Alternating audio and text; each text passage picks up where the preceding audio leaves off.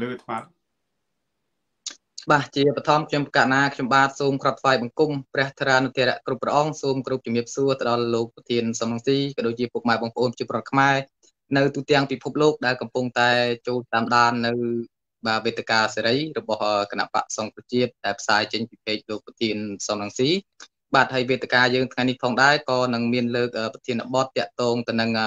បាទប្រជាពលរដ្ឋនិងការបោះឆ្នោតបាទថ្ងៃនេះគឺថ្ងៃសៅរ៍បាទ8កើតខែចែកឆ្នាំឆ្លូវត្រីស័កពុទ្ធសករាជ2565ត្រូវនៅថ្ងៃទី9ខែមេសាឆ្នាំ2022អញ្ចឹងប្រធានបទយើងនឹងលោកនឹងលើកយកមកពិភាក្សានៅពេលនេះគឺតកតងទៅនឹងប្រជាពលរដ្ឋនិងការបោះឆ្នោតតើ វាមានអត្តន័យយ៉ាងណាក៏ដូចជាតកតងទៅនឹងការបកស្រាយរបស់វាគ្មិនដែលបាននិមន្តចូលរួមពុកម៉ែបងប្អូនអាចបាទតាមដានបាន បាទគឺយើងមានពេលគឺ1ម៉ោងពេញតែម្ដងហើយនៅគណៈពេលនេះដោយសារតែបដិជគុណលោកមានវត្តមានហើយគណៈសូមក្រាបថ្វាយបង្គំបដិជគុណបដិជគុណពនាមរស់បន្ថនបាទបដិជគុណបានបងបង្គំ សូមជំរាបបងប្អូនវាគ្មិនហើយជាបឋមអាត្មា សូមថ្វាយបង្គំចំពោះព្រះមហាថែគ្រប់ព្រះអង្គចម្រើនពរអស់លោកសាធុសពរស់ទាំងអស់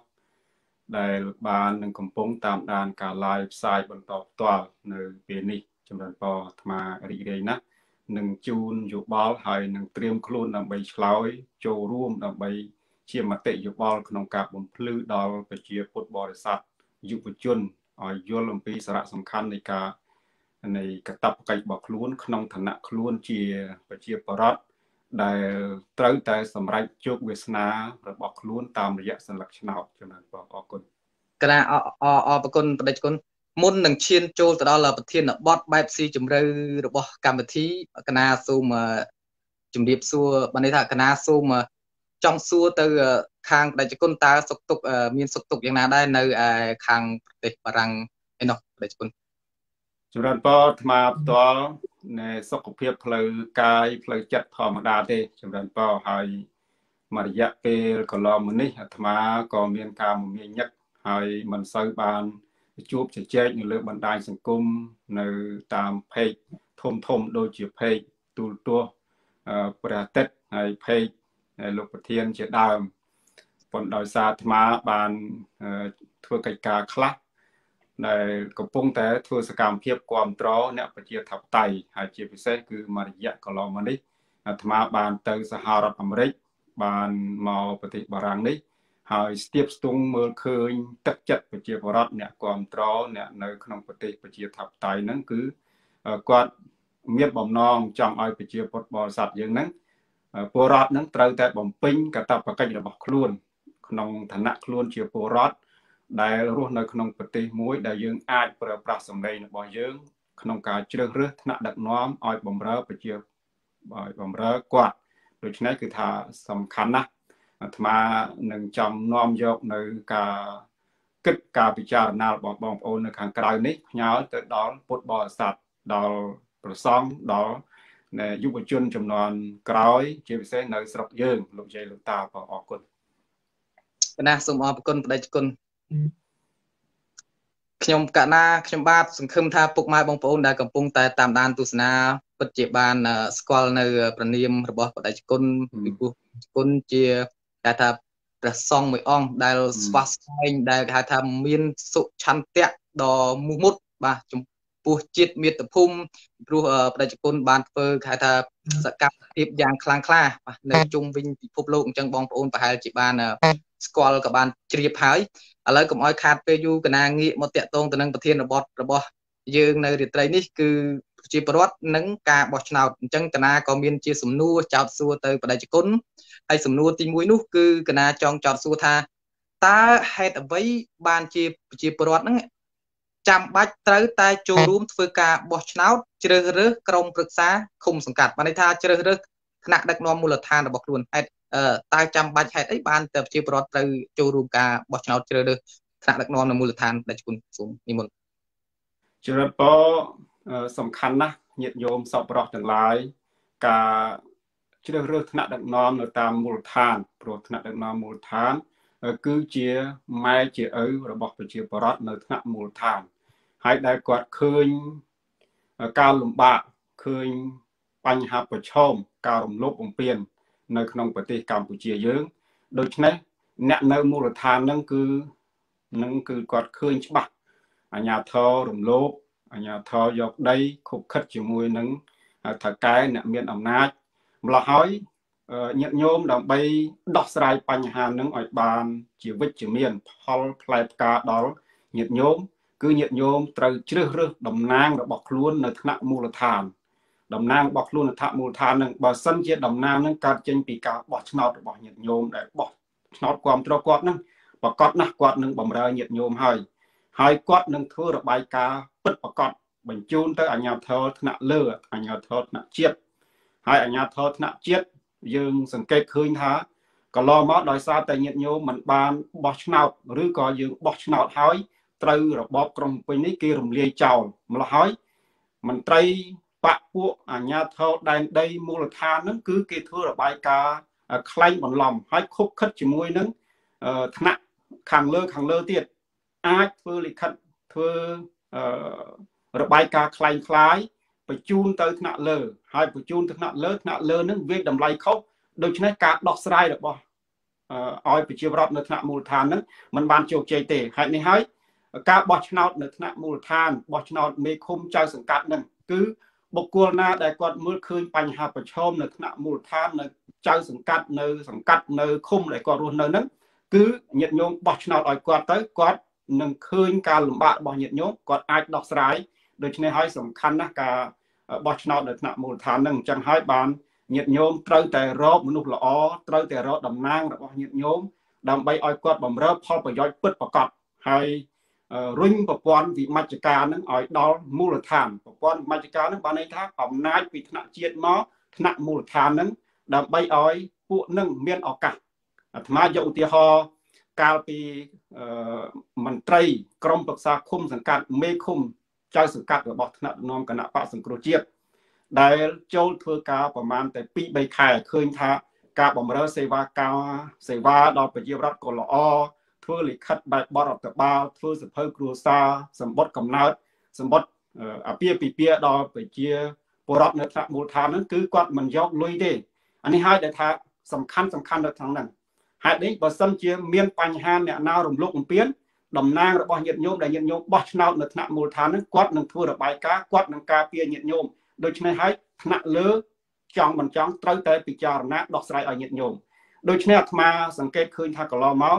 នៅថ្នាក់មូលដ្ឋានដោយសារមេឃុំចៅសង្កាត់នោះគឺជាមេឃុំដល់គណៈបកប្រជាជនកម្ពុជា ដែលត្រូវលើកបន្ទប់ដោយរបបក្រុងភ្នំពេញក្រោយពេលដែលរបបក្រុងភ្នំពេញរំលាយគណៈបកសង្គ្រោះជាតិហើយពួកនឹងអាចធ្វើលិខិតធ្វើ បែបបរដ្ឋបាលធ្វើរបាយការណ៍កុហកបបប្រាស់ទៅថ្នាក់ខាងលើថ្នាក់ជាតិអញ្ចឹងហើយថ្នាក់ជាតិថ្នាក់លើហ្នឹងគឺអត់ឃើញរបាយការណ៍អត់ឃើញបញ្ហាប្រឈមនៅតាមមូលដ្ឋានទេគាត់អាចវិតម្លៃខុសដូច្នេះបញ្ហាប្រឈមដែលប្រជាពុទ្ធបរិស័ទត្រូវគេវាយត្រូវគេធ្វើបាបត្រូវគេសម្លាប់ត្រូវគេចាប់ប្រកាន់នានាហ្នឹងគឺថាដោយសារអីដោយសារ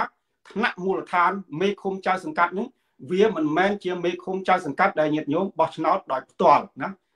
មិនមែនជាមេឃុំចៅសង្កាត់ដែលកើតចេញមកពីការបោះឆ្នោតរបស់ញាតិញោមអញ្ចឹងអាត្មា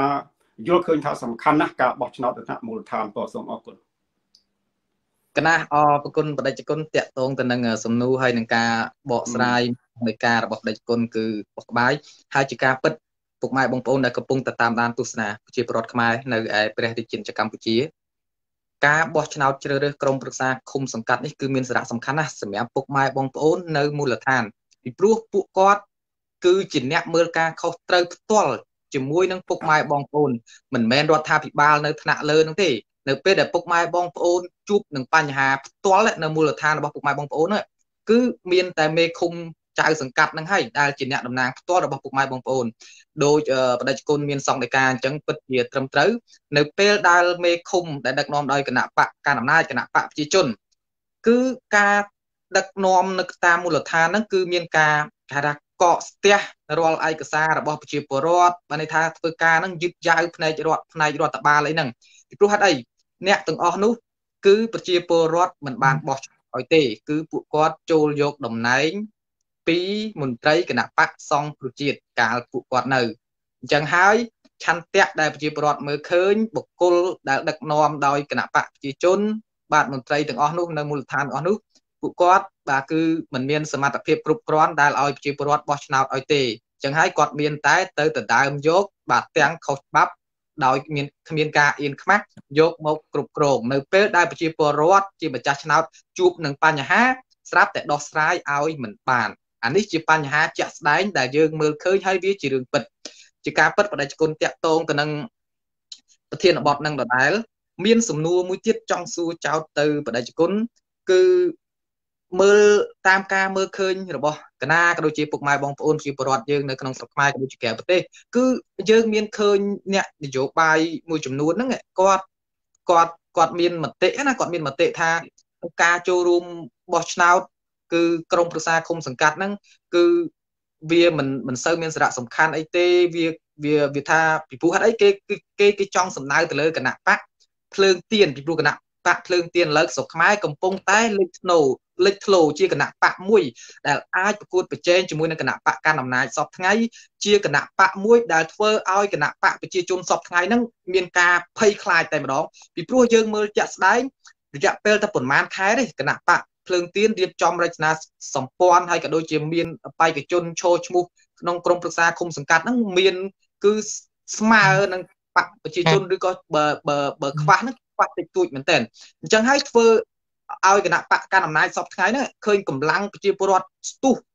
គ្រប់គ្រង នៅគណៈបកភ្លើងទៀនស្រាប់តែធ្វើឲ្យខាងគណៈបកប្រជាជនហ្នឹងគឺមានការភ័យខ្លាចស្រាប់តែមានអ្នកនយោបាយមួយចំនួនហ្នឹងក៏លើកឡើងថាបើសិនជាការចូលរួមបោះឆ្នោតរបស់គណៈបកភ្លើងទៀនហ្នឹងគ្រាន់តែជាការចូលរួមដើម្បីលំអគេហៅថានយោបាយរបស់មេដឹកនាំកាន់អំណាចសពថ្ងៃនេះជនបដិការណាអញ្ចឹងចំណុចនេះលបងយល់ឃើញឬក៏មានគំនិតទស្សនៈបែបណាដែរបងតាក់ទងទៅនឹងចំណុចលើកឡើងរបស់ អ្នកនយោបាយមួយចំនួនដែលថាអ្នកដែលចូលរួមបោះឆ្នោតជាមួយគណៈបកភ្លើងទៀនឬក៏គ្រប់គ្រងគណៈផ្លាក់បកភ្លើងទៀនហ្នឹងជារឿងមួយដែលគ្រាន់តែលំអជាមួយនឹងគណៈបកកណ្ដាលអំណាចតែលបងយល់យ៉ាងណាដែរចំពោះចំណុចនេះបងចំណុចបើសំណួរហ្នឹងគឺមានសារៈសំខាន់ណាស់ហើយញាតិញោមត្រូវតែចូលរួមពិចារណាឲ្យបានច្រើនហើយត្រូវតែគិតពិចារណាឲ្យបានច្រើន ចំពោះអ្នកនយោបាយដែលព្យាយាមរារាំងព្យាយាមអុកទាញប្រជាពលរដ្ឋអ្នកគ្រប់គ្រងគណៈបកសង្គ្រោះជាតិពីមុនមកមិនអោយទៅបោះឆ្នោតឧទាហរណ៍ថាការបោះឆ្នោតក្នុងពេលខាងមុខនេះគណៈបកភ្លើងទៀននឹងចូលរួមបោះឆ្នោតនឹងបើសិនជា លក្ខខណ្ឌនៃការបោះឆ្នោតលក្ខខណ្ឌនៃការរៀបចំ របស់កជបដែលធ្វើនឹងត្រឹមត្រូវគួរឲ្យយើង អាចចូលរួមបានអាត្មាយល់ឃើញថាថ្នាក់ដឹកនាំគណៈបកភ្លើងទៀនប្រហែលជាពិចារណា ពិចារណាក្នុងការចូលរួមបោះឆ្នោតដូច្នេះចំពោះអ្នកនយោបាយដែលចុះទៅរៀបរៀងចុះទៅបញ្ចុះបញ្ចូលពលរដ្ឋមិនអោយចូលរួមបោះឆ្នោតអាត្មាយល់ឃើញថាអ្នកនយោបាយនឹងទី1គឺជាអ្នកនយោបាយដែលមានគំនិតអាត្មានិយមព្រោះពួកគាត់ដែលគាត់ មិនអោយប្រជាប្រដ្ឋទៅចូលរួមបោះឆ្នោតហ្នឹងមិនអោយមានតំណាងនៅថ្នាក់មូលដ្ឋានហ្នឹងហេតុអីបានជាយើងនិយាយថាអាត្មានិយមអឺអាត្មានិយមក្នុងន័យថាការបោះឆ្នោតក្នុងពេលនេះមេឃុំចៅសង្កាត់ក្រុមប្រឹក្សាឃុំចៅសង្កាត់ដែលគាត់ត្រូវទៅបោះឆ្នោតហ្នឹងគឺគាត់មានសិទ្ធិក្នុងការឈរឈ្មោះឲ្យគេបោះឆ្នោតស្របតាមរដ្ឋធម្មនុញ្ញនៃព្រះរាជាណាចក្រកម្ពុជា ដែលចែងថា បុគ្គលម្នាក់ម្នាក់មានសិទ្ធិឈរឈ្មោះឲ្យគេបោះឆ្នោតហើយប្រជាប្រដ្ឋខ្មែរមានសិទ្ធិចូលរួមក្នុងកិច្ចការសង្គមនយោបាយវប្បធម៌ពលគឺចូលរួម សម្រាប់ជោគវាសនា នៅថ្នាក់មូលដ្ឋានប្រទេសជាតិរបស់ខ្លួន តាមរយៈស្លឹកឆ្នោតបានន័យថាយើងបោះឆ្នោតនឹងដើម្បីអឺជីវភាពរស់នៅរបស់យើងដើម្បីរកតំណាងពិតប្រកបរបស់យើង ដើម្បីរកអាជ្ញាធរដែលការពារផលប្រយោជន៍យើងនៅថ្នាក់មូលដ្ឋាននៅថ្នាក់ឃុំនៅថ្នាក់សង្កាត់គេហៅថាប្រព័ន្ធវិមជ្ឈការហ្នឹងដូច្នេះអ្នកនយោបាយដែលបញ្ចុះបញ្ចូលហាមមិនអោយសកម្មជនឬក៏មិនអោយប្រជាបុតបរិស័ទប្រជារាស្ត្រប្រជាជនទៅបោះឆ្នោតបានន័យថាគាត់អាត្មានិយមហើយយកឲ្យយើងមើលមកជ្រុងទៀតហេតុអីបានជាគាត់ហាមព្រោះគាត់អត់មានសិទ្ធិបោះឆ្នោតគាត់ត្រូវរបបក្រុងភ្នំពេញហាម គាត់ជាប់បំរាមតុលាការគាត់ជាប់បំរាមដែលអាជ្ញាធររបបហ៊ុនសែនរៀបរៀងគាត់មិនអោយទៅបោះឆ្នោតដូច្នេះបើសិនជាគេរៀបរៀងគាត់ហេតុអីបានជាគាត់ព្យាយាមរៀបរៀងពលរដ្ឋមិនអោយទៅបោះឆ្នោតអានឹងជាសំណួរមួយដែលញាតិញោមត្រូវចោទសួរហើយបើសិនជាយើងមិនជ្រើសរើសតំណាងរបស់យើងនៅថ្នាក់មូលដ្ឋានតើបានអ្នកណាការពារយើងបានអ្នកណាជួយយើងពេលយើងមានបញ្ហាអី ខ្ញុំគណៈអាត្មាភាពឧទាហរណ៍យកឧទាហរណ៍ដូចថាសភៅគ្រូសាសម្បត្តិកំណើតសម្បត្តិអាពាហ៍ពិពាហ៍ទាំងអស់ហ្នឹងគឺយើងធ្វើនៅថ្នាក់មូលដ្ឋាននៅឃុំនៅសង្កាត់របស់យើងហ៎ហើយបញ្ហាដែលគ្រោះថ្នាក់មួយទៀតញាតិញោមមើលឃើញថាកន្លងមកមេឃុំចៅសង្កាត់របស់គណៈបកប្រជាជនកម្ពុជាតើគេធ្វើស្អីខ្លះសម្រាប់ជាតិយើងតើគេបំរើប្រជាប្រដ្ឋខ្មែរត្រឹមត្រូវទេគេអត់បំរើប្រជាប្រដ្ឋខ្មែរត្រឹមត្រូវទេ គឺជាមេឃុំចៅសង្កាត់របស់បកដែលគេដើរតាមបន្ទាត់នយោបាយរបស់បកហើយបន្ទាត់នយោបាយរបស់បកគឺជាបន្ទាត់នយោបាយរបស់យួនគណៈបកប្រជាជនកម្ពុជាហ្នឹងបន្ទាត់នយោបាយរបស់យួនយ៉ាងម៉េចញាតិញោមបានធ្លាប់ស្ដាប់ឃើញហើយថាបន្ទាត់នយោបាយរបស់យួនដែលបើយោងតាមលោកប៉ែនសវណ្ណគាត់មានប្រសាសន៍ថាយួនគេស្នើសុំឲ្យទទួលជនជាតិយួនហ្នឹងមករស់នៅថ្នាក់នៅតាមឃុំតាមភូមិ នៅតាមទីក្រុងតាមរាជធានីអញ្ចឹងហើយមេឃុំចៅសង្កាត់របស់គណៈបកប្រជាជនកម្ពុជាកន្លងមកហ្នឹងគឺគាត់សម្រួលកិច្ចការហ្នឹងគាត់សម្រួលឲ្យសភៅគ្រួសារឲ្យយួនរស់នៅតាមតំបន់ដែលយួនចូលមកគាត់សម្រួលឲ្យធ្វើសម្បត្តិកំណើតឬក៏ដែលលិខិតបែបបទរដ្ឋបាលផ្សេងផ្សេងឲ្យជនជាតិយួនដែលមករស់នៅនៅតាមនៅតាមនៅស្រុកខ្មែរយើងហ្នឹងអញ្ចឹងហើយ បើគេសម្រួលនៅតាមព្រំដែនយួននៅតាមព្រំដែនអានេះហើយដែល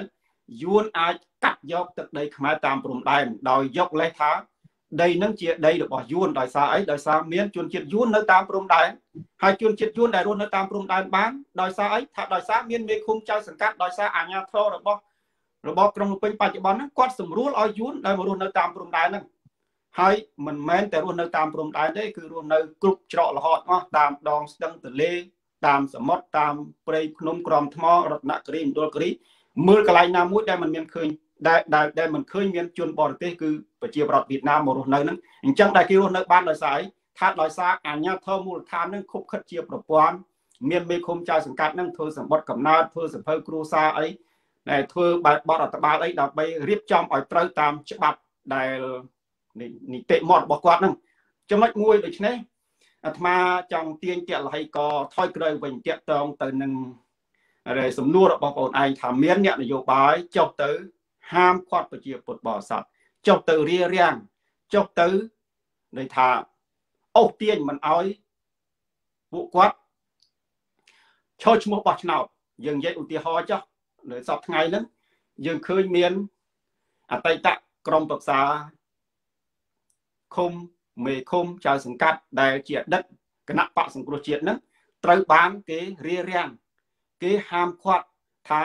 រងចាំឲ្យគណៈបកសង្គ្រោះជាតិរស់ឡើងវិញចឹងទៅហើយយើងកុំទៅឈរឈ្មោះបោះឆ្នោតក្នុងក្រមប្រសាគុំសង្កាត់នោះប៉ុន្តែឥឡូវបញ្ជីបេក្ខជនដែលរៀបចំហ្នឹងគឺវាបានទៅរលូនហើយដោយសារ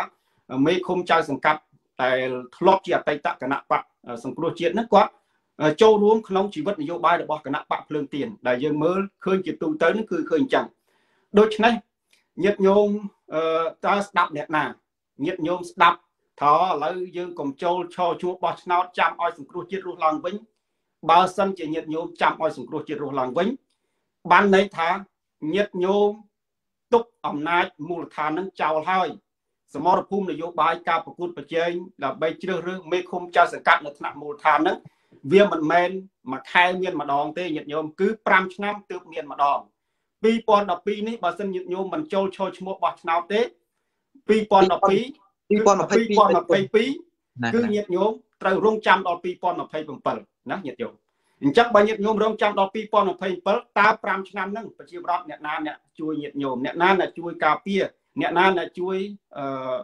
ការលំបាករបស់ប្រជាប្រដ្ឋនៅបច្ចុប្បន្នហ្នឹងអញ្ចឹងហើយ អាត្មាមើលមួយជ្រុងទៀតមើលមួយជ្រុងទៀតឥឡូវយើងមើលទៅថយក្រោយបន្តិចវិញគណៈបកសង្គ្រោះជាតិយើងនៅតែមានចំហថាយើងនឹងអាចចូលរួមបោះឆ្នោតបានអញ្ចឹងប៉ុន្តែបោះឆ្នោតឆ្នាំ2022នេះសង្គ្រោះជាតិមិនអាចចូលរួមបោះឆ្នោតបានទេអញ្ចឹងសង្គ្រោះជាតិបើសម្ពាធនយោបាយការទូតដែលយើងធ្វើនឹងត្រឹមត្រូវឧបមាថាគណៈបកសង្គ្រោះជាតិមានលោកប្រធានសំរងស៊ី ដែលធ្វើនយោបាយការទូតជាមួយនឹងលោកជំទាវមួសុខួរនៅក្រៅប្រទេសហ្នឹងបានការគ្រប់គ្រងហើយតុលាការនៃរបបតុលាការនៃបារាំងកំពុងតែគៀបសង្កត់រកវិធីចាប់លោកហ៊ីងប៊ុនហៀងរកវិធីចាប់លោកហ៊ុយពិសិដ្ឋហើយលោកហ៊ុនសែនអាចនឹងរងការទណ្ឌកម្មច្រើនទៀតដូច្នេះបើសិនជារបបហ៊ុនសែននេះมันអាចទ្រាំទ្រនឹងសម្ពាធអន្តរជាតិបានទេរបបហ៊ុនសែនអាចនឹងឲ្យសង្គ្រោះជាតិចូលបោះឆ្នោតឆ្នាំ2023 បើសិនជាឲ្យសង្គ្រោះជាតិចូលបោះឆ្នោតពីចំឆ្នាំ2023តើឆ្នាំ2023ហ្នឹងយើងបោះឆ្នោតទៅអ្នកណាជួយការពារស្លឹកឆ្នោតយើង គឺមេឃុំចៅសង្កាត់ឆ្នាំ2022នេះញាតិញោមឲ្យយល់ទៅហ្នឹងអញ្ចឹងករណីនេះមក2023 2023ហ្នឹងគឺវាដូចគ្នានឹង2013ដែរចំណុចដូចយ៉ាងម៉េចអាត្មាសូមបញ្ជាក់ប្រាប់ញាតិញោមអំពីចំណុចដូច យើងមើលកាលពីឆ្នាំ2012 2012គណៈបកសំរងស៊ីមានមេឃុំចៅសង្កាត់មានក្រុមប្រឹក្សាឃុំចៅសង្កាត់របស់ខ្លួន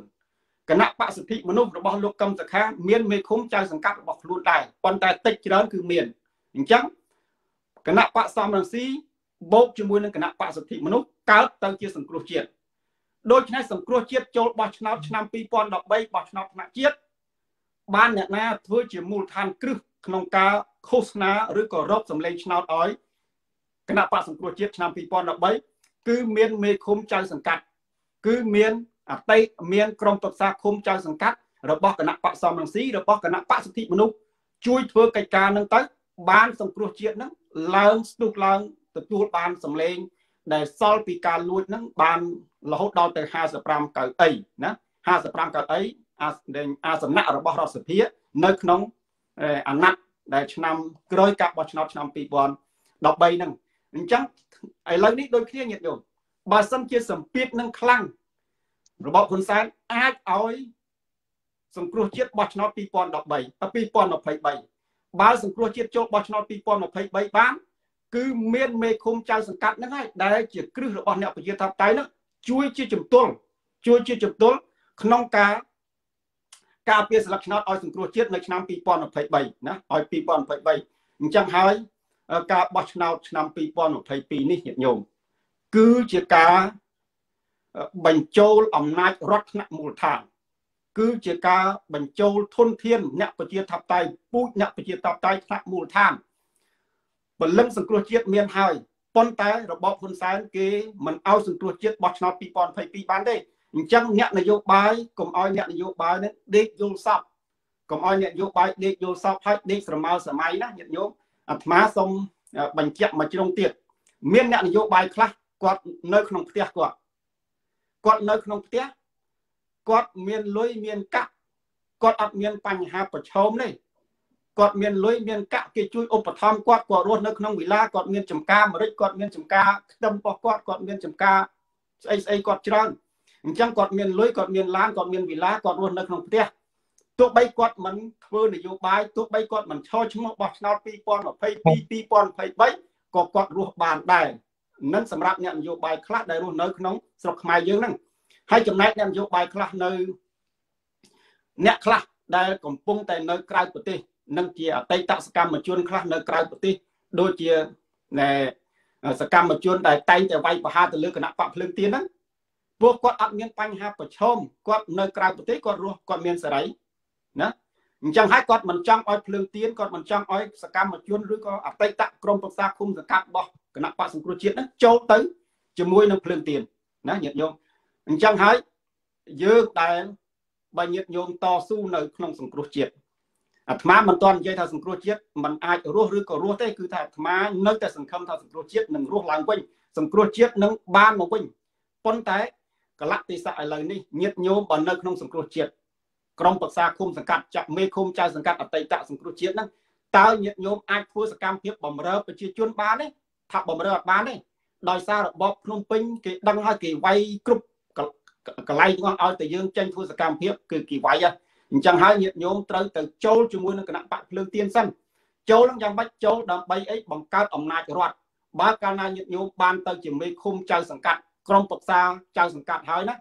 ញាតិញោមមានអំណាចធំណាស់ពួកប្រជាការពារភូមិពួកខ្មោចស្រុកបន្តិចបន្តួចពួកគេហៅថាបិសាចដែលតាមវាយញាតិញោមពីដើមមកហ្នឹងគឺលែងអាចវាយញាតិញោមបានហើយដោយសារដោយសារញាតិញោមជាតំណាងស្របច្បាប់ម្ដងទៀតហើយនៅឆ្នាំ2022ខែ6ចាប់ពីខែ6មានការបោះឆ្នោតហ្នឹងទៅអញ្ចឹងហើយខ្ញុំគណៈអាត្មាភាពសូមបញ្ជាក់ថាសំខាន់ណាស់ សម្រាប់ការបោះឆ្នោតឆ្នាំ2022នេះហើយញាតិញោមត្រូវមើលទៅបញ្ហាស្ថានភាពនៅយូក្រែនឬក៏អ៊ុយក្រែនអ៊ុយក្រែនរុស្ស៊ីចាប់ផ្ដើមខ្វៀលយកដីប្រជាប្រទេសអ៊ុយក្រែនហើយខ្វៀលយកដីប្រទេសអ៊ុយក្រែនដោយសារអីដោយសារជនជាតិរុស្ស៊ីនឹងចូលមករស់នៅក្នុងទឹកដីអ៊ុយក្រែនហើយអាញាធិបពីមុនមកដែលស្និទ្ធជាមួយនឹងរុស្ស៊ីគឺតែងតែទទួល ជនជាតិរុស្ស៊ីនឹងមករស់នៅក្នុងប្រទេសអ៊ុយក្រែនហើយដោយសារជនជាតិរុស្ស៊ីនឹងធ្លាប់គ្រប់គ្រងអ៊ុយក្រែនផងដូច្នេះប្រជាប្រដ្ឋនឹងចេះតែហៀមកដល់ពេលឥឡូវនេះរុស្ស៊ីយកហេតុផលថាប្រជាប្រដ្ឋគេរស់នៅកន្លែងណាគេឈ្វាលយកដីអ៊ុយក្រែនកន្លែងហ្នឹងអញ្ចឹងយើងមើលទៅស្រុកខ្មែរយើងវិញតើមានករណីដែលយួនឈ្វាលយកដីខ្មែរទេថាមានតាមព្រំដែនមានញាតិញោមច្រើនណាស់ណាយួនខ្វៀលយកដីខ្មែរតាមរយៈ ប្រជាជនយួនរស់នៅជាក់ស្ដែងកន្លែងណាកន្លែងណាអញ្ចឹងហើយដែលរស់នៅជាក់ស្ដែងតាមនឹងដោយសារអីថាដោយសារមានមេឃុំចៅសង្កាត់របស់គណៈបកប្រជាជនកម្ពុជាហ្នឹងដែលដើរតាមបន្ទាត់នយោបាយរបស់គណៈបកប្រជាជនកម្ពុជាហ្នឹងអញ្ចឹងបើសិនជាយើងបានមេឃុំចៅសង្កាត់នៅថ្នាក់មូលដ្ឋានឬក៏យើងបានអនុដែលជំទប់ទី1ជំទប់ទី2ក្រុមប្រឹក្សាយើងអាចការពារដីយើងថ្នាក់មូលដ្ឋានបានហើយព្រោះយើងមានសម្លេងរបស់យើងថាឥឡូវប្រជាប្រដ្ឋយួនរស់មកមករស់នៅទឹកដីខ្មែរមិនបានទេកុំឲ្យធ្វើលិខិត សភៅគ្រួសារឬក៏សបុតកំណត់អីឲ្យប្រជាជនយួនអីអត់បានទេនេះហើយជាការជួយការពារហើយអ្នកណាមួយដែលមិនទាន់មានសិទ្ធិបោះឆ្នោតឆ្នាំ2023យួនចង់មកចូលប្រឡំបោះឆ្នោតអីចង់មកធ្វើសបុតកំណត់អីដើម្បីបោះឆ្នោតអីយើងមានមេឃុំយើងយើងមានចៅសង្កាត់យើងយើងមានក្រុមប្រឹក្សារបស់យើងយើងនិយាយយើងតវ៉ានៅថ្នាក់មូលដ្ឋានហ្នឹងញាតិញោមអានេះហើយបានថាសំខាន់ណាស់ញាតិញោមអញ្ចឹងហើយបើសិនជាមានមេឃុំចៅសង្កាត់របស់អ្នកប្រជាធិបតេយ្យឧទាហរណ៍ថាភ្លើងទៀនអញ្ចឹងចាស់ ភ្លើងទៀនចូលបោះឆ្នោតខាងមុខចុះបើសិនជាលក្ខខណ្ឌហ្នឹងมันសមត្រឹមត្រូវហើយប៉ុន្តែក្នុងឱកាសនេះអាត្មាក៏ឆ្លៀតនេះយកឆ្លៀតឱកាសនេះចង់ផ្ដាំផ្ញើទៅដល់កោជបដែរអាត្មាសង្កេតឃើញថាកោជបលើកនេះដូចជាលោកប្រាជ្ញច័ន្ទណាលោកប្រាជ្ញច័ន្ទដែលជាប្រធានកោជបថ្មីនេះ ហើយដែលត្រូវតែងតាំងដោយគណៈបកប្រជាជនកម្ពុជានេះអាត្មាថាជាប្រវត្តិអាក្រក់មួយសម្រាប់កោជបឆ្នាំនេះដោយសារដោយសារឃើញកោជបដែលចូលថ្មីមកនេះលោកប្រាជ្ញច័ន្ទហ្នឹងគឺបានរំលាយបញ្ជីឈ្មោះស្រស់ស្រស់ធម្មតាគណៈបកភ្លើងទៀនអាត្មាអាត្មាមិនដឹងពិតប្រកបថាយ៉ាងម៉េចទេប៉ុន្តែបើសិនជាមានអដែងថាបេក្ខជនណាមួយនៅក្នុង ឃុំណាមួយរបស់គណៈបកភ្លើងទៀនមានចំណុចអវិជ្ជមានដែលខុសនឹងនីតិវិធីខុសច្បាប់អាហ្នឹងគឺយើងដកឈ្មោះនឹងចេញទៅប៉ុន្តែអ្នកផ្សេងទៀតដែលគេត្រូវច្បាប់ដែលគេស្របតាមនីតិវិធីទាំងអស់ហើយគ្រាន់តែនៅក្នុងបញ្ជីតែមួយហ្នឹងហេតុអីបានកោជបរំលាយចោលហេតុអីបានកោជបរំលាយចោលនេះអាត្មាមើលឃើញថា ជាយុទ្ធសាស្ត្រជាតាក់ទិកនយោបាយមួយស្មោកគ្រោកអាក្រក់មកហើយដូចជាមើលឃើញថា របបក្រុងពេញគេហាក់ដូចជាបដូរទិសដៅរបស់គេពីដើមគេរំលាយបាក់ទាំងស្រុងតែម្ដងដល់គេខ្លាចចាញ់ប៉ុន្តែឥឡូវនេះហាក់ដូចជាគេរំលាយបញ្ជីខ្លះខ្លះនៅក្នុងតំបន់ណាដែលគេមើលឃើញថាចាញ់គណៈបកភ្លើងទៀនឧទាហរណ៍ដូចជានៅទីក្រុងភ្នំពេញអាត្មាដឹងមកឃើញតឡាឃើញនៃកោជបនឹងរំលាយរហូតដល់ទៅនៃ8សង្កាត់ហើយនៅកំពង់ចាមនៅពោធិ៍សាត់ ហើយសរុបទៅគឺថាជាង10ឃុំសង្កាត់ដូច្នេះនៅក្នុងឃុំសង្កាត់ទាំង8នៅទីក្រុងពេញហ្នឹងបើសិនជាចូលបោះឆ្នោតត្រឹមត្រូវគឺភ្លើងទៀននឹងស៊ីដាច់ហើយព្រោះទាំងអស់ហ្នឹងសុទ្ធតែអ្នកប្រជាធិបតេយ្យគ្រប់គ្រងនៅកន្លែងដែលទទួលបានព័ត៌មាននៅកន្លែងដែលប្រជាប្រដ្ឋចេះដឹងយល់អំពីកតាបកិច្ចរបស់ខ្លួនក្នុងការទទួលបោះឆ្នោតអញ្ចឹងគេព្យាយាមរំលាយបញ្ជីរបស់គណៈបកភ្លើងទៀនចោលនេះអាត្មាមើលឃើញថាដោយសារដោយសារខ្លាចចាញ់ដូច្នេះ អាត្មាសូមអំពាវនាវសូមបណ្បាតថាដើម្បីឲ្យខ្មែរយើងដើរតាមកន្លងប្រជាធិបតេយ្យរុញប្រព័ន្ធវិបត្តិការដល់ថ្នាក់មូលដ្ឋានហ្នឹងគួរតែអាជ្ញាធរគួរតែរបបក្រុងពេញគ្រប់លំដាប់ថ្នាក់ហ្នឹងត្រូវតែពិចារណាឲ្យបើកសិទ្ធិគោរពតាមរដ្ឋធម្មនុញ្ញឲ្យមានការបោះឆ្នោតឲ្យមានការឈរឈ្មោះព្រោះបើយើងគិតថាអ្នកនឹងខុសម្នាក់ពីរនាក់ហេតុអីត្រូវរំលាយនៃបញ្ជីឈ្មោះរបស់គេចោលគឺថាជារឿងមួយដែលមិនត្រឹមត្រូវទេនេះ អាត្មាសូមប្រើសម្លេងឯករាជ្យរបស់អាត្មាក្នុងឋានៈអាត្មាជា ប្រជាប្រដ្ឋមួយ ជាប្រសង់មួយ ដែលមានសិទ្ធិស្របតាមរដ្ឋធម្មនុញ្ញនៃប្រជាណាចក្រកម្ពុជាប្រើសិទ្ធិប្រើឱកាសនេះដើម្បីនិយាយទៅកាន់មហាជននិយាយទៅកាន់អាជ្ញាធរនេះឲ្យគិតពិចារណាឡើងថាការចូលរួមក្នុងកិច្ចការសង្គមនយោបាយនេះគឺយើងម្នាក់ម្នាក់មានសិទ្ធិនិយាយហើយអាត្មាគ្រប់គ្រងដែលត្រូវប៉ុន្តែចំណុចខុសគឺអាត្មាសូមនិយាយឲ្យដើម្បីដើម្បីទុកជាប្រវត្តិសាស្ត្រថា សម័យនេះគេនេះគឺយើងមិនបណ្ដោយឲ្យអ្នកឯងធ្វើអីតាមអំពើចិត្តទេឧទាហរណ៍ដូចជាមេឃុំចៅសង្កាត់ក្រុមប្រឹក្សាឃុំចៅសង្កាត់អញ្ចឹងដែលធ្វើអីផ្ដេសផ្ដាស់ផ្ដល់សិទ្ធិឲ្យជនបរទេសចូលមករស់នៅតាមមូលដ្ឋានរបស់ខ្លួនហើយឲ្យយុទ្ធជនបរទេសគេឆ្វៀលយកទឹកដីដោយហេតុថាអូមានប្រជាប្រដ្ឋគេមករស់នៅជាក់ស្ដែងហើយអញ្ចឹងវាជាគ្រោះថ្នាក់សម្រាប់ជាតិរបស់យើងអាត្មាមើលឃើញមួយជ្រុងទៀតនៅថ្នាក់មូលដ្ឋាន ដូចជាលោកនិតកែមលីធ្លាប់មានប្រសាសន៍ថាมันមានការអភិវឌ្ឍថ្នាក់មូលដ្ឋានទេគឺมันមានការវិវត្តតាមភូមិតាមជាយដែនទេដូច្នេះទុកភូមិទុកជាយដែនជាប់ព្រំដែនយួនព្រំដែនឡាវថៃហ្នឹងឲ្យទំនេរទៅគេចេះចូលមកហើយដល់គេចូលមកគេថាដីគេដោយសារមានប្រជាប្រដ្ឋគេរស់នៅជាក់ស្ដែងដូច្នេះអាត្មានិយាយវែងបន្តិចប៉ុន្តែចង់ផ្ដាំផ្ញើទៅដល់អ្នកនយោបាយវិញឧទាហរណ៍ថាអ្នកនយោបាយជាន់ខ្ពស់ ដែលជាប់បំរាមនៅក្នុងតឡាការជាប់បំរាមនៅក្នុងតឡាការកលៈទេសៈឥឡូវនេះណាញាតិញោមបើញាតិញោមជាប់បំរាមនៅក្នុងតឡាការញាតិញោមតស៊ូផ្លូវច្បាប់ជាមួយនឹងតឡាការទៅដើម្បីឲ្យញាតិញោមមានសិទ្ធិហើយញាតិញោមឈរឈ្មោះបោះឆ្នោតឆ្នាំ2022ទៅនឹងសម្រាប់មន្ត្រីជាន់ខ្ពស់រួមទាំងលោកប្រធានកម្មសខាផងលោកធានកម្មសខាគាត់ជាប់បំរាមហើយគាត់ជាប់បំរាមគាត់កំពុងតែ ចូលរួមក្នុងនីតិវិធីតទល់ផ្លូវច្បាប់ជាមួយនឹងតុលាការរបស់ក្រុងពេញអញ្ចឹងកលៈទេសៈឥឡូវនេះអាត្មាសូមបិណ្ឌបាតសូមអំពាវនាវសូមចម្រើនពរលោកប្រធានកម្មសខាថាសូមលោកយកកាត់ទុកដាក់ដូចថាជ្រើសរើសឯកសារឬក៏មេធាវីជំនាញយ៉ាងម៉េចក៏ដោយអ្នកការទូតគ្រប់ប្រទេសដែលទៅជួបលោកហ្នឹងគឺធ្វើម៉េចលោករកវិធីយ៉ាងម៉េចដោះស្រាយតាមប្រព័ន្ធតុលាការណាតាមប្រព័ន្ធតុលាការឲ្យបានត្រឹមត្រូវទៅ ឲ្យលោកមានសិទ្ធិធ្វើនយោបាយទៅហើយលោកតលោកឈរឈ្មោះបោះឆ្នោតថ្នាក់ជាតិឆ្នាំ2023ទៅអញ្ចឹងកលៈទេសៈឥឡូវនេះអាត្មាយល់ឃើញថា លោកកឹមសខាចុះទៅជួបប្រជាប្រដ្ឋចុះទៅថ្នាក់មូលដ្ឋានហ្នឹងគឺថាជាការមួយខាត់ពេលទេបងជាការជាការមួយខាត់ពេលហើយធ្វើឲ្យគេមើលឃើញថាអូលោកកឹមសខាពីមុនមិនក៏មិនចុះដល់ពេលឥឡូវភ្លើងទៀនធ្វើដំណើរទៅបានលោកកឹមសខាចុះហើយដល់ពេលចង់មិនចង់ គេហាក់ដូចជាមើលឃើញថាលោកកឹមសខាហ្នឹងចុះទៅរៀបរៀងមិនអោយគេចូលរួមបោះឆ្នោតចុះទៅរៀបរៀងមិនអោយក្រុមប្រឹក្សានោះចូលរួមបោះឆ្នោតធ្វើឲ្យក្រុមប្រឹក្សាខ្លះស្ទាក់ស្ទើរក្នុងការចូលរួមបោះឆ្នោតអញ្ចឹងអាត្មាសូមនិយាយថាកលៈទេសៈឥឡូវនេះលោកកម្មសខាបើគាត់ចុះទៅមូលដ្ឋានក៏ចុះបានហើយក៏ចុះទៅហើយព្រោះ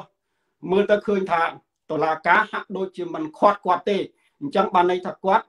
ដែលអាចធ្វើនយោបាយបានហើយហើយអាច មួយទៀតញាតិញោមការធ្វើការចុះរបស់លោកកម្មសខានៅថ្នាក់មូលដ្ឋានអាត្មាមើលឃើញថាអាចជាលបែងរបស់គណៈបកប្រជាជនកម្ពុជាដែរលបែងយ៉ាងម៉េចបើសិនជាលោកកម្មសខានៅក្នុងផ្ទះយើងមើលឃើញថាអូលោកកម្មសខាអត់មានសិទ្ធិមែន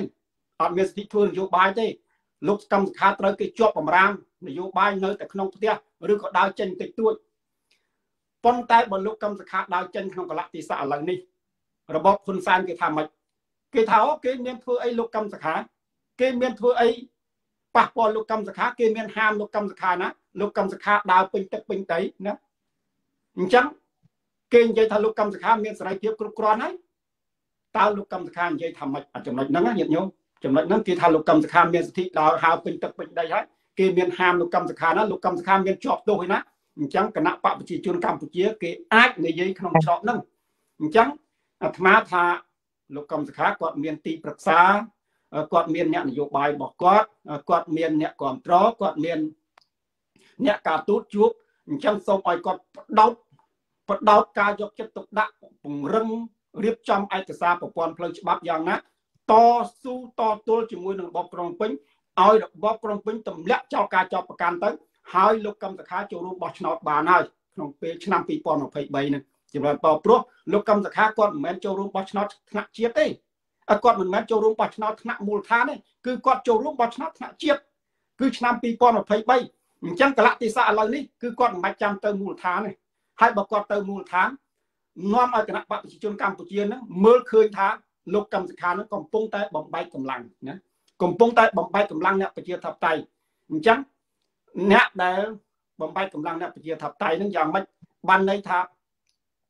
គណៈបកប្រជាជនកម្ពុជា គេកំពុងតែវាយហើយគេកំពុងតែសន្និដ្ឋានហើយថាអូលោកកឹមសុខាចុះទៅនឹងខាត់ប្រជាប្រដ្ឋលោកកឹមសុខាចុះទៅនឹងបំបែកកម្លាំងមិនឲ្យគ្រប់គ្រងគណៈបកភ្លើងទៀនប៉ុន្តែតាមទៀតពិតលោកកឹមសុខាយើងអត់ដឹងថាគាត់ចុះទៅដើម្បីអីទេជួនកាលលោកកឹមសុខាគាត់ចុះទៅគាត់អាចប្រាប់ខ្សឹបខ្សឹបថាឥឡូវនេះខ្ញុំអត់ទាន់អាចធ្វើនយោបាយបានទេប៉ុន្តែខ្ញុំទៀមទាចង់ធ្វើនយោបាយរបស់ខ្ញុំចូលរួមបោះឆ្នោតថ្នាក់ពីឆ្នាំ2023អញ្ចឹងហើយបងប្អូនទាំងអស់គ្នាដែល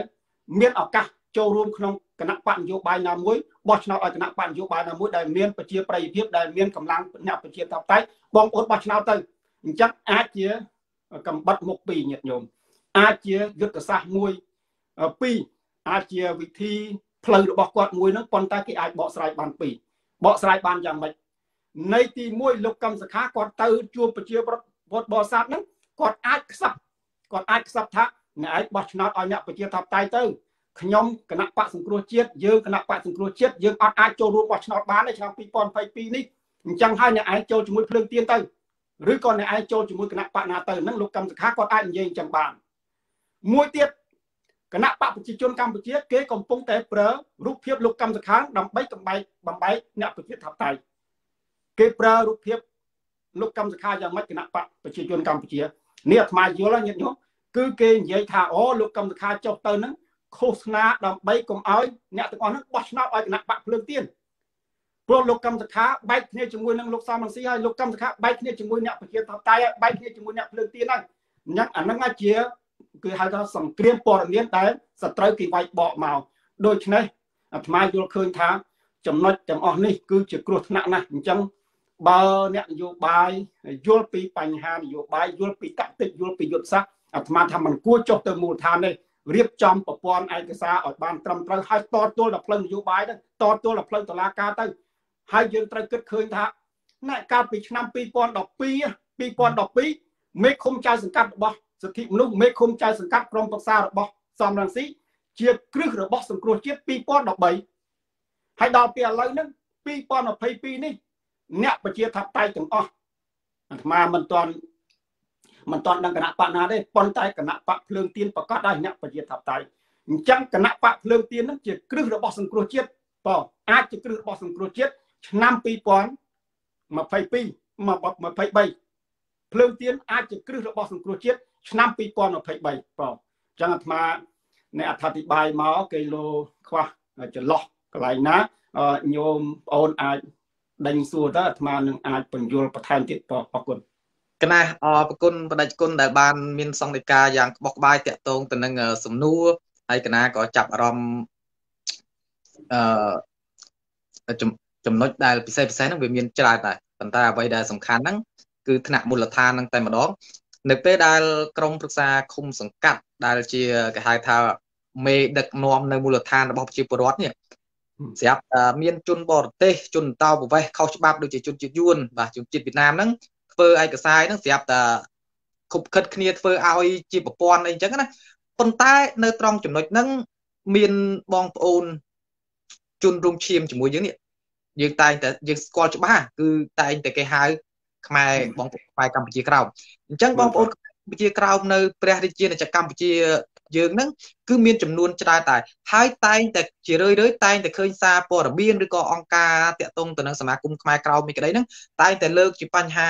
ជារឿយរឿយថាឲ្យតែបងប្អូនខ្មែរក្រោមទៅធ្វើលិខិតស្នាមលិខិតបកឋានគតិយុត្តអីផ្សេងផ្សេងហ្នឹងគឺពិបាកតែម្ដងអាញាធរនៅមូលដ្ឋានហ្នឹងគឺកម្រនឹងធ្វើឲ្យគាត់ដែរយកលេសខុសនេះខុសនោះគឺមិនធ្វើឲ្យតែម្ដងអានេះជាហេតុផលមួយសបញ្ជាក់ឲ្យឃើញថាមេឃុំចៅស្ដាប់នៅថ្នាក់មូលដ្ឋានហ្នឹងគឺគាត់គេហៅថាមិនមែនមិនមែនជាអ្នកបេះដូងជាអ្នកដឹកនាំអឺបំរើផលប្រយោជន៍ ជាតិទូទៅទេបំរើផលប្រយោជន៍ប្រជាពលរដ្ឋទេគឺគាត់បំរើផលប្រយោជន៍បកពួករបស់គាត់ហើយនឹងបំរើផលប្រយោជន៍សត្រូវដែលគេឆ្លៀនពៀនទឹកដីយើងទៅទៀតឯនោះហើយចំណុចមួយទៀតដែលបដិជគុណបានមានសង្កេតការលើកឡើងតាក់ទងទៅនឹងគោជបនៅពេលថ្មីថ្មីហ្នឹងនៅកណាសុំលើកបន្តិចដែរនៅក្នុងប្រទេសហ្វីលីពីនយើងមានឃើញថាខែ5នេះខែនៅខែឧសភាខែ6ហ្នឹងគឺគេនឹងមានការបោះឆ្នោតថ្នាក់ជាតិគេដែរហើយ យើងមើលទៅលើការឃោសនារោគសម្លេងអញ្ចឹងគោជបគេគឺគេធម្មតាពីព្រោះហេតុអីគណៈបកដែលចូលរួមគណៈបកប្រឆាំងទាំងគណៈបករដ្ឋដឹកនាំរដ្ឋាភិបាលហ្នឹងគឺដូចអត់មានបញ្ហាសោះជាមួយនឹងបញ្ជីឈ្មោះបេក្ខជនបានន័យថាទាំងអន្តរជាតិអីហ្នឹងគឺគេទុកចិត្តគោជបនៅក្នុងប្រទេសហ្វីលីពីននឹងម្ដងបានន័យថាគោជបគឺគេឯករាជ្យគេអត់មានបានន័យថាអឺនៅគ្រប់គ្រងរដ្ឋាភិបាលឬក៏ចូលខាងណាមួយទេអញ្ចឹងនៅពេលដែលគេហៅថា គោលជំបឯករាជ្យធ្វើឲ្យប្រជាពលរដ្ឋនឹងមានទំនុកចិត្តខ្ពស់វាផ្ទុយជាមួយនឹងស្រុកខ្មែររបស់យើងចំណុចចំណុចនេះហើយជាអ្វីដែលអ្នកគ្រប់គ្រងគណៈបកប្រជាជនគួរតែគិតពិចារណាត្រូវតែមានភាពក្លាហានសួរទៅកាន់គោជបសួរទៅគាត់ថាហេតុអីបានជាគោជបលោកគោជបហ្នឹងលោកបញ្ជីឈ្មោះគណៈបកអឺ ប្រឆាំងឬក៏គណៈបកដតីដូចជាគណៈបកភ្លើងទៀនគណៈបកផ្សេងផ្សេងទៀតដែលចូលរួមនឹងតែងតែមានបញ្ហាហើយគណៈបកកាន់អំណាចមិនបានមិនមានបញ្ហាអញ្ចឹងអ្នកដែលគ្រប់គ្រងគណៈបកប្រជាជនគួរតែក្លាហានឡើងបើសិនជាស្រឡាញ់ជាតិមាតុភូមិក្លាហានយ៉ាងម៉េចក្លាហានហ្នឹងប្រើអាបេះដូងនេះថាខ្លួនជាអ្នកគេហៅថាបុគ្គលបរិសុទ្ធណាគឺគេហៅថាបើចូលប្រកួតប្រកួតដោយគេហៅថាដោយយុត្តិធម៌ត្រឹមត្រូវមិនមែន ធ្វើបាបដៃគូសពបែបយ៉ាងគូបដិបកសពបែបយ៉ាងហើយស្រាប់តែចង់ដណ្ដើមអំណាចនឹងមកដោយភាពអយុត្តិធម៌គឺធ្វើអញ្ចឹងអត់ត្រូវទេហើយមួយវិញទៀតតាក់ទងទៅនឹងសំណួរដែលជគុណពីព្រោះម៉ោងយើងវាសល់បាទរៀងបាទរៀងថាចិត្តដល់ហើយសល់ខ្ទង់ជាង10នាទីប៉ុន្តែកណានៅមានសំណួរទៀតប៉ុន្តែមុននឹងសួរចោតសួរទៅបដិជគុណកណាសូមលើកបន្តិចតាក់ទងទៅនឹងមូលនិធិក្រមប្រឹក្សាឃុំសង្កាត់ហ្នឹងគឺច្រើនពុកម៉ែបងប្អូនប្រជាពលរដ្ឋខ្មែរ ដែលកំពុងតែចូលតាមដានទស្សនាអញ្ចឹងនៅក្នុងមួយឆ្នាំយើងឃើញពេលថ្មីថ្មីនេះគឺសម្ដេចកលាសោមបាទសម្ដេចសខេងគឺប្រជាពលរដ្ឋមួយចំនួនក៏ដូចជាទាំងមានអ្នកនិន្នាការនយោបាយបកប្រឆាំងតែងតែសរសើរថាសម្ដេចសខេងហ្នឹងគឺលោកគឺមានក្រមសិលធម៌ជាមន្ត្រីដឹកនាំរដ្ឋាភិបាលហ្នឹងគឺការនិយាយស្ដីរបស់គាត់ហ្នឹងគឺគាត់មានក្រមសិលធម៌ប៉ុន្តែអ្វីដែលគាត់បានលើកឡើងឬក៏គាត់ ចេញទ្រឹស្ដីជាហោហែហ្នឹងដូចមិនដែលបានឃើញផលប្រយោជន៍អីមកដល់ប្រជាពលរដ្ឋឬក៏ប្រទេសជាតិសោះនៅពេលដែលគាត់កាន់តំណែងដ៏ខ្ពស់បំផុតក្រោមតានាយករដ្ឋមន្ត្រីទេហើយគាត់បានមានប្រសាសន៍ប្រមាណអាទិត្យមុនហ្នឹងគឺគាត់ថាមូលនិធិឃុំក្នុងមួយឆ្នាំហ្នឹងគឺបានន័យថាខាង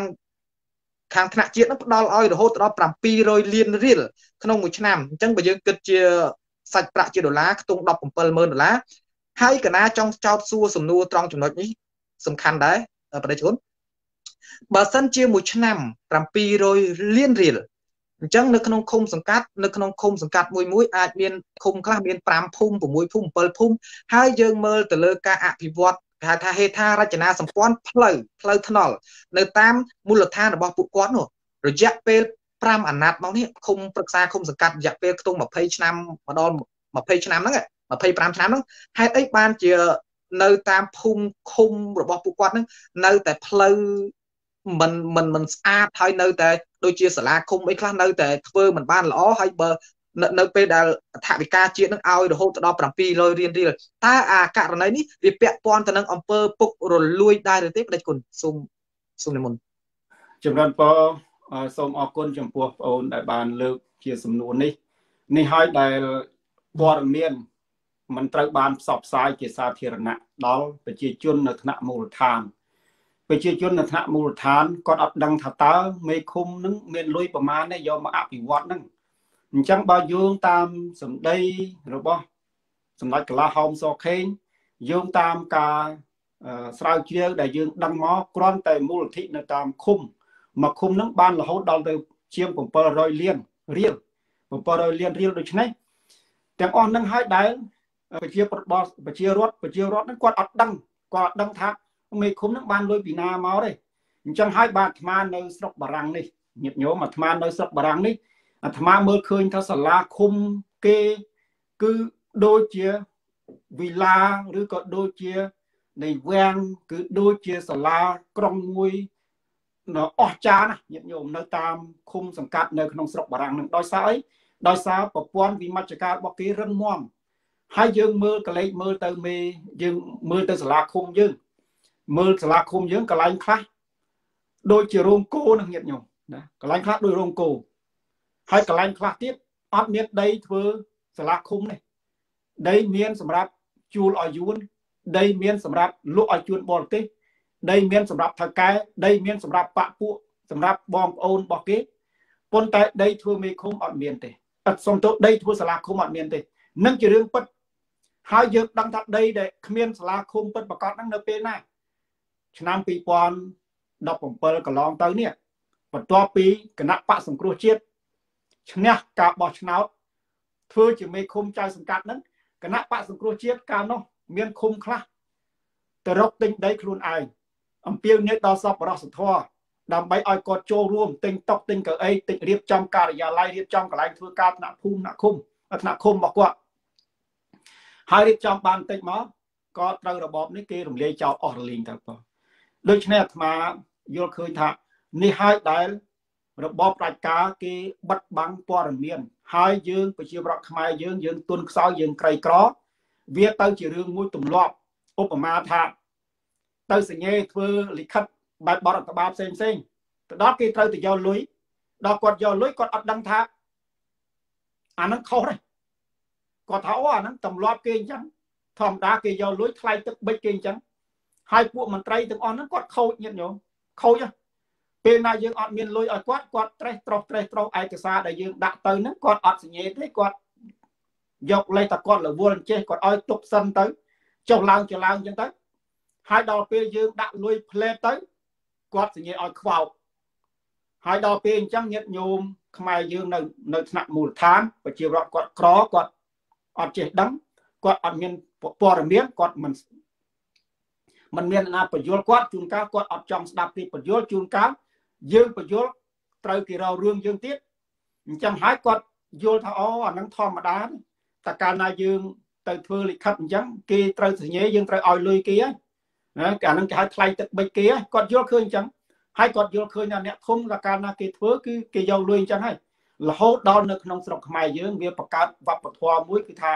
គេថាវប្បធម៌គេនិយាយជាទូទៅគេនិយាយសាធារណៈគ្រប់ទីកន្លែងគេថាអូកន្លែងគេនឹងរកបានក្រៅប៉ុណ្ណេះរកបានប៉ុណ្ណេះរកបានប៉ុណ្ណេះអញ្ចឹងអានឹងអាចជារឿងពុករលួយញាតិញោមអញ្ចឹងហើយបានជាយើងអំពាវនាវថាការបោះឆ្នោតនឹងសំខាន់ណាស់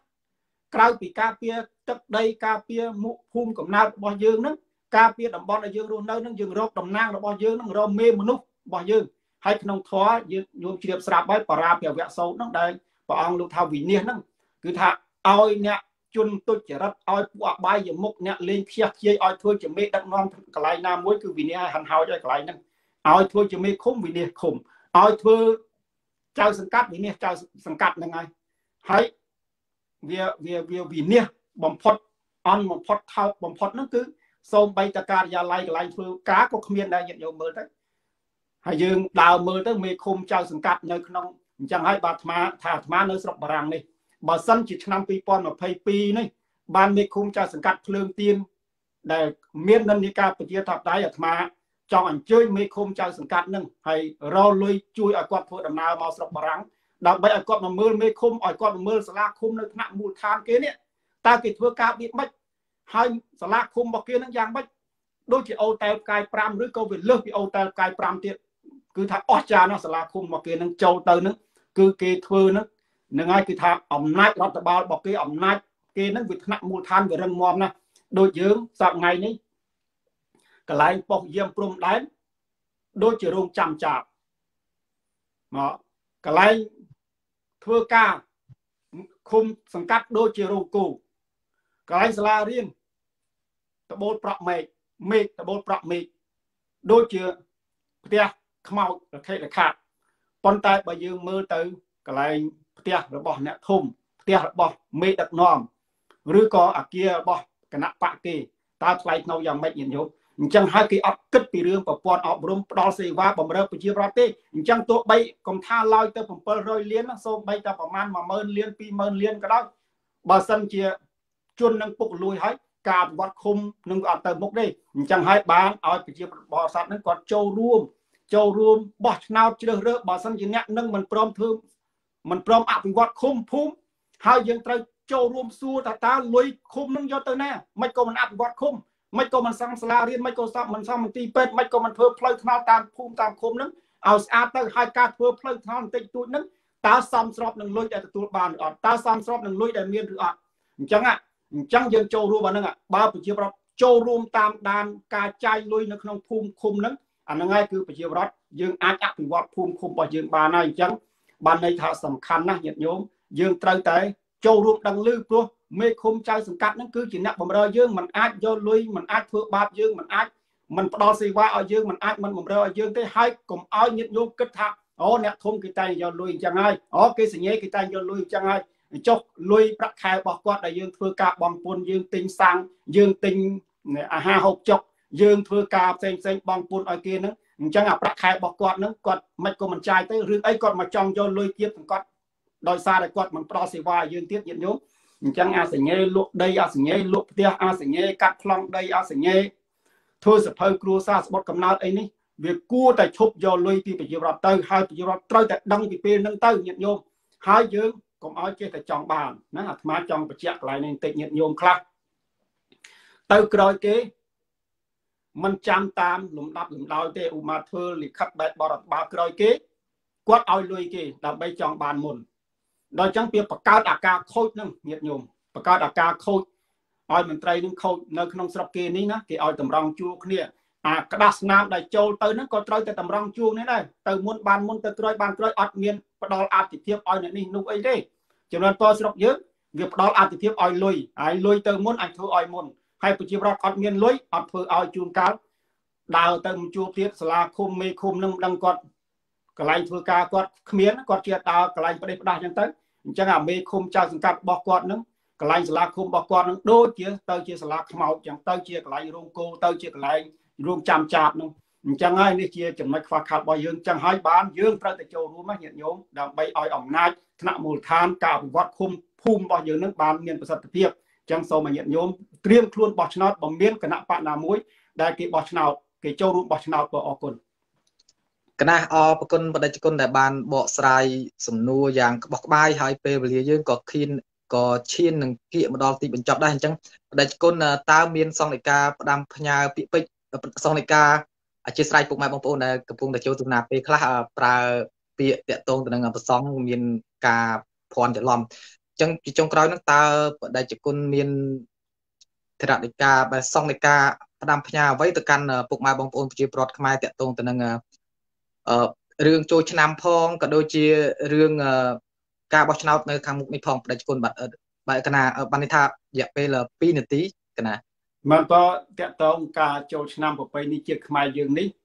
អាត្មាមើលឃើញថាយើងមានប្រពៃណីនៃការជ្រើសរើសមេដឹកនាំតាំងពីមុនមកបុរាណកាលរបស់យើងមក ហើយមួយឆ្នាំយើងដូរទេវតាម្ដងទេវតានឹងដែលជាកូនកបិលមហាព្រំនឹងមកជាប្រធានបដូវវេនដូច្នេះឥឡូវហ្នឹងជាឆ្នាំដែលយើងត្រូវបដូរទេវតាទៀតហើយឆ្នាំថ្មីហ្នឹងអញ្ចឹងទេវតាចាស់ត្រូវអស់អំណាចទៅហើយប៉ុន្តែទេវតាគណៈបកប្រជាជនកម្ពុជាអត់អត់ព្រមឲ្យគេដូរចុះក្រាញពុកអលួយពុំមិនព្រមបដូរដូច្នេះវប្បធម៌នៃការបដូរមេដឹកនាំហ្នឹងអញ្ចឹងអាត្មាថ្នាក់មូលដ្ឋានហ្នឹងក៏ដូចគ្នាដែរ មេឃុំចៅសង្កាត់ហ្នឹងយើងជ្រើសរើសបដូរទៅបើសិនជាមេឃុំចៅសង្កាត់នឹងធ្វើការមិនល្អដូរ5ឆ្នាំដូរម្ដងអញ្ចឹងមេឃុំដែលគាត់ឡើងមកដោយសារយើងបដូរយើងជ្រើសគាត់ហ្នឹងឡើងមកត្រង់កតុយហើយញាតិញោមគឺគាត់ត្រូវទៅបំរើញាតិញោមតែកាលណាមិនបំរើតែកាលណាមិនណែបំពេញកតបកិច្ចក្នុងឋានៈជាមេឃុំឲ្យបានត្រឹមត្រូវធ្លាក់ឆ្នោតធ្លាក់ឆ្នោតអញ្ចឹងហើយក្នុងកលៈទេសៈឥឡូវនេះគឺថា ចូលឆ្នាំថ្មីប្រពៃណីជាតិខ្មែរយើងនឹងយើងមានរបៀបបែបផែននៃការផ្លាស់ប្ដូរទេពតាទេពតាហ្នឹងគឺគាត់បដូរវេនគ្នាមកកាន់អំណាចមួយឆ្នាំម្ដងមួយឆ្នាំម្ដងមួយឆ្នាំម្ដងអញ្ចឹងអានេះប្រព័ន្ធប្រជាធិបតេយ្យហ្នឹងវាមានក្នុងវប្បធម៌ខ្មែរយើងហើយអញ្ចឹងហើយអាត្មាសូមផ្ញើផ្ដាំផ្ញើទៅបិណ្ឌបាតដល់ថ្នាក់ដឹកនាំគណៈបកប្រជាជនកម្ពុជានឹងដាក់រូបទេវតាល្អណាស់ប៉ុន្តែឲ្យយល់អំពីរបៀបបែបផែននៃការផ្លាស់ប្ដូរមេដឹកនាំនឹងផង ហើយបើសិនជាបើសិនជារូបទេវតានឹងហើយទៅជារូបទៅជាបិសាចចិត្តជួនកាលរូបជាទេវតាប៉ុន្តែចិត្តជាបិសាចនោះក៏មិនល្អដែរបើសិនជារូបជាទេវតាឲ្យចិត្តនឹងជាទេវតាផងឲ្យយល់អំពីគុណតម្លៃសិលធម៌និងការគោរពនៃមនុស្សផងព្រោះការបោះឆ្នោតការជ្រើសរើសបោះឆ្នោតនឹងជាកតបកិច្ចរបស់មនុស្សជាតិហើយយើងបើកាលណាយើងបាត់សិទ្ធហើយញាតិញោមតើកាលណាយើងបាត់សិទ្ធគឺយើងបាត់ឱកាសយើងបាត់ ជីវិតហើយសិទ្ធនឹងជាជីវិតរបស់យើងយើងរស់ដោយថ្លៃថ្នូរនឹងដោយសារយើងមានសិទ្ធិចុះបើយើងអត់មានសិទ្ធិក្នុងការជ្រើសរើសមេដឹកនាំរបស់យើងហើយហើយតើកាលណាយើងបោះឆ្នោតឲ្យគេហើយគេមិនបំរើយើងយើងត្រូវតែមានសិទ្ធិដកគេចេញវិញត្រូវតែបដូរគេចេញវិញអញ្ចឹងអាត្មាសូមផ្ដាំផ្ញើតែប៉ុណ្ណេះទេញាតិញោមសូមអរគុណសូមចម្រើនពរកណាសូមអរគុណបដិគុណហើយជាចុងបញ្ចប់នេះផងដែរខ្ញុំកណាលួនវិបុលក៏សូមគេហៅថា ប្រកេនពោក្នុងឱកាសឆ្នាំថ្មីទៅដល់ប្រជាជនសូមឲ្យប្រជាជនមានសុខភាពល្អកម្លាំងកាយបលាំងមាំមួនហើយក៏ដូចជាសូមគោរពជូនពរទៅដល់លោកប្រធានសំងស៊ីក៏ដូចជាថ្នាក់ដឹកនាំគណៈបកសង្គ្រោះជាតិនៅក្នុងឱកាសឆ្នាំថ្មីនេះសូមឲ្យមានសុខភាពល្អគ្រប់គ្រប់គ្នាហើយនឹងទទួលរាល់ជោគជ័យនៅគ្រប់កិច្ចការការទូតដើម្បីគេហៅថាពុបប្រហែតជាតិមាតុភូមិរួមទាំងពុកម៉ែបងប្អូនប្រជាពលរដ្ឋខ្មែរនៅទូទាំងពិភពលោកជាពិសេសក្នុងឱកាសចូលឆ្នាំថ្មីខាងមុខនេះ រាល់ការធ្វើដំណើរទៅទីចិត្តទីឆ្ងាយជួបជុំពុកម៉ែបងប្អូនក្រុមគ្រួសារហ្នឹងសូមឲ្យប្រកបតែសុខសុវត្ថិភាពក្នុងការធ្វើដំណើរទៅបាទទៅវិញទៅមកហើយជាចុងក្រោយសូមគុណសម្រាប់ការតាមដានតាំងពីដើមរហូតដល់ចប់ពេលនេះកម្មវិធីវេទិកាសេរីដែលផ្សាយចេញពី page របស់លោកប្រធានសំឡងស៊ីសូមគ្រប់លាតែប៉ុណ្ណេះសូមថ្លែងបង្គំលាសូមអរគុណអាត្មាសូមថ្លែងបង្គំ ព្រះមហាថៃចម្រើនពរញាតិញោមតែប៉ុណ្ណេះសូមអរគុណនិងអរគុណ